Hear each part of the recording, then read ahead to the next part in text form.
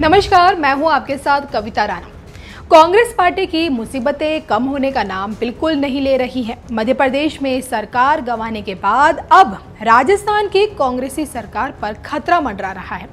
सूबे के उप मुख्यमंत्री सचिन पायलट ने विरोध का बिगुल बजा दिया है। जिसे राजस्थान से लेकर दिल्ली तक कांग्रेस पार्टी हिल गई है। कांग्रेस के लिए नई मुसीबत महाराष्ट्र में खड़ी हो सकती है, जहाँ पर वो शिवसेना और एनसीपी के साथ सरकार में है।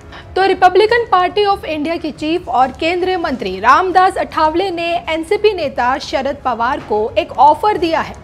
अठावले ने पवार को एनडीए में शामिल होकर बीजेपी के साथ महाराष्ट्र में सरकार बनाने का न्योता दिया है।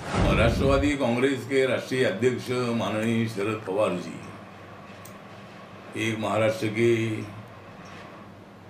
बड़े नेता है।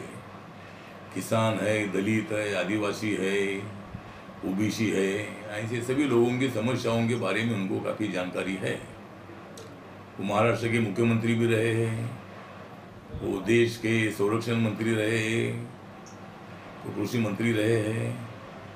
तो मेरा निवेदन ये है कि राष्ट्रवादी कांग्रेस ने शिवसेना को सपोर्ट करने का जो निर्णय लिया है, उस निर्णय से राष्ट्रवादी कांग्रेस को बिल्कुल फ़ायदा नहीं है।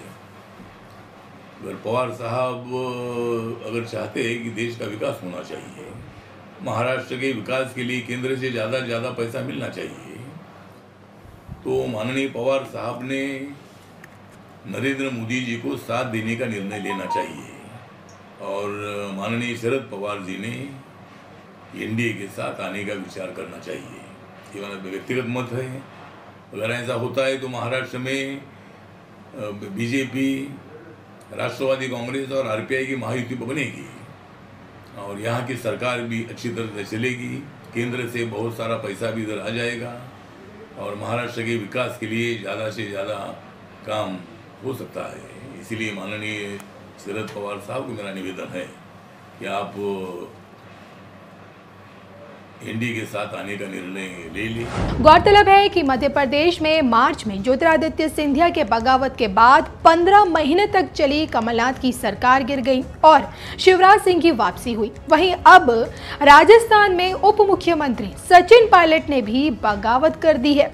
ऐसे में अगर रामदास अठावले की बात शरद पवार सीरियस लेते हैं तो कांग्रेस के लिए मुसीबत और बढ़ जाएगी।